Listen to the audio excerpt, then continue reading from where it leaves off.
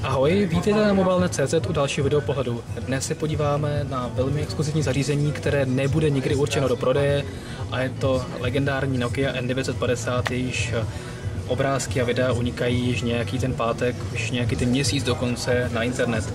Jedná se o zařízení pouze pro developery, pro vývojáře aplikací.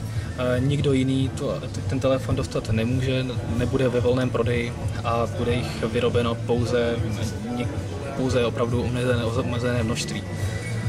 Systém je stejný jako v případě N9, Eh, vše je velmi podobné, akorát displej není AMOLED, ale je to TFT. A ten telefon slouží primárně na to, aby si vývojáři mohli vyzkoušet, jak aplikace chodí právě na tomto systému.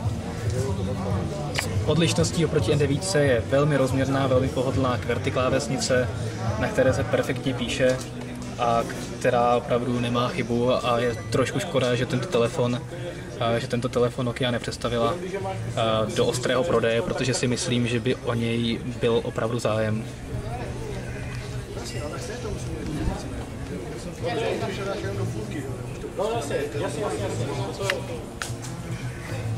Vidíte, že konstrukce je podobná jako například u Nokia N97, opět s, s touto hradou zadní části a s tímto způsobem vysouvání, vyklápění.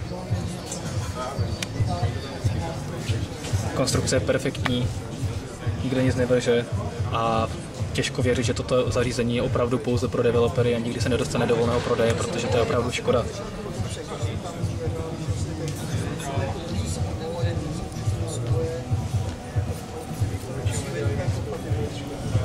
Až tolik krátký pohled na Nokia N950.